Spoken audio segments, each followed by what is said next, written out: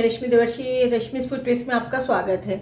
आज आप सभी के लिए एक बार फिर गोलगप्पे की रेसिपी लेकर आई हूँ। गोलगप्पे शौकीनों के लिए। नारियल पानी, गोलगप्पे या ट्रांसपेरेंट पानी के साथ हमने गोलगप्पे ट्राई किए हैं। Coconut water golgappe. तो चलिए रेसिपी स्टार्ट करते हैं। सबसे पहले हम इसका एक मसाला बना लेते हैं उबले आलू के। यहाँ मैंने तीन मीडियम साइज़ के उबाले हुए आलू लिए हैं। उबले हुए हैं ये। इसको पहले मैश कर लेते हैं। थोड़ा टेस्ट अलग होगा इसका। आलू मैश हो चुके हैं। अब इसमें हम मसाला डालेंगे। इसमें मसाले ज़्यादा नहीं डालेंगे, क्योंकि हमें पानी को बिल्कुल ट्रांसपेरेंट रखना है इसका, इसलिए। यदि हमने कोई भी लाल मिर्च या काली मिर्च डालेंगे तो फिर वो उतना कलर कलर आ जाएगा उसमें पानी में। इसलिए बिल्कुल पानी जैसा होता है, वैसे ही रखेंगे हम। ट्रांसपेरेंट सा। अब इसमें सफ़ेद मिर्च पाउडर डालेंगे हम। बाकी आपके पास अवेलेबल ना हो तो आप डाल सकते हैं पिसी काली मिर्च। पर यहाँ पे मैं वाइट पेपर ले रही हूँ। आधी टीस्पून और साथ में इसमें सेंधा नमक। आप रोटी में जो नमक खाते हैं, वो भी यूज़ कर सकते हैं। इसको अच्छी तरह से मिक्स कर लेते हैं। और साथ में इसमें मसाले में जाएगा, आलू के मसाले में नारियल का चूरा। ये इजीली मार्केट में अवेलेबल है नारियल का चूरा। दो टीस्पून नारियल का चूरा। अब इसको अच्छी तरह से मिक्स कर लेते हैं। यदि आपके पास में मलाई भी यदि अवेलेबल हो नारियल के पा, पानी में जो मलाई निकलती है वो भी डाल सकते हैं आप चाहे तो इसमें आलू में पर हर शहर में अवेलेबल नहीं होता है इसलिए जहाँ अवेलेबल हो वहाँ आप इसको यूज़ कर सकते हैं। बारीक काट के मलाई को डाल सकते हैं आलू में।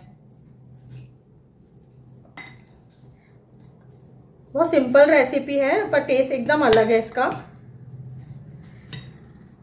आलू का मसाला हमारा बन गया है।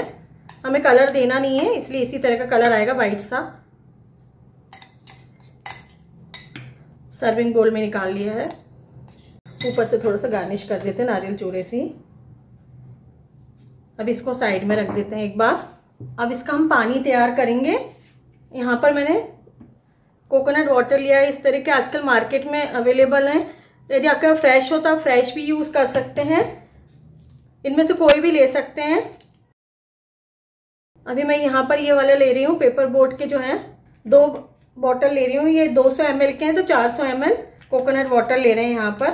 बाकी जितने पर्सन है, उस हिसाब से आप इसको तैयार कर सकते हैं। मैंने यहाँ पर थोड़ी सी बर्फ़ के टुकड़े ले लिए हैं। अच्छा रिफ़्रेशिंग सा टेस्ट आएगा पानी में, इसलिए बर्फ़ डाल के डाल, पानी डालें। अब इसमें मैं कोकोनट वाटर डाल रही हूँ, नारियल पानी। यहाँ मैं 400 सौ का यूज़ कर रही हूँ। इसमें आराम से तीन लोग खा सकते, इसको ले सक, पी सकते हैं आराम से। इसका पानी का यूज़ कर सकते हैं तीन पर्सन अब इसमें, इसका हमको इसी तरह से कलर रखना है तो इसमें सिर्फ़ नींबू का रस जाएगा एक बार तो।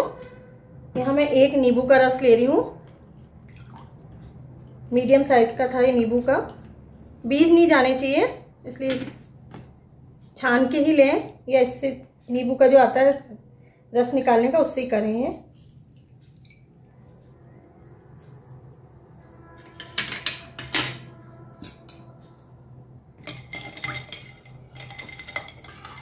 अब इसमें जाएगा नमक, एक टीस्पून नमक। यहाँ मैं सेंधा नमक का यूज़ कर कर रही हूँ। रूटीन में काम लेते हैं हमारे यहाँ, इसलिए आप कोई भी सॉल्ट ले सकते हैं। और हमेशा टेस्ट कर लें नमक को, फिर और ज़रूरत हो तो डाल सकते हैं।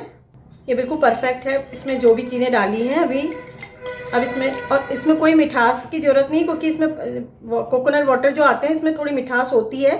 तो यदि आपको लगता है कि थोड़ा मीठा होना चाहिए तो आप इसमें पीसी चीनी डाल सकते हैं।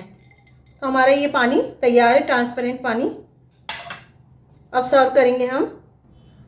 और यदि आपके शहर में नारियल का पानी अवेलेबल ना हो या फ्रेश वाले नारियल अवेलेबल ना हो तो आप इस तरह से भी पानी बना सकते हैं। यहाँ पर मैंने नारियल का चूरा लेकर उसमें पानी डाल के और इस तरह से बना लिया पर ये ट्रांसपेरेंट नहीं होगा, ये दूध जैसा लगेगा, पर इसका भी टेस्ट अच्छा होता है। यदि आप खाना चाहें तो तो आप इस तरह से भी पानी तैयार कर सकते हैं। ये ऑप्शन है आपके पास में कि इस तरह से भी आप कर सकते हैं। तो आप सर्व करते हैं हम। हमारा मसाला, आलू का, नारियल और आलू का मसाला। आप मेरे चैनल पे फ़र्स्ट टाइम आए तो मेरे चैनल को सब्सक्राइब करना ना भूलें, बेल आइकन को प्रेस करना ना भूलें। आगे मैं जो भी वीडियोस लेकर आऊँ, उसका नोटिफिकेशन आप तक पहुँच सके। और वीडियो पसंद आए तो लाइक शेयर कमेंट्स करें। तो कोकोनट वाटर वाला गोलगप्पे हमारे तैयार हैं। Thank you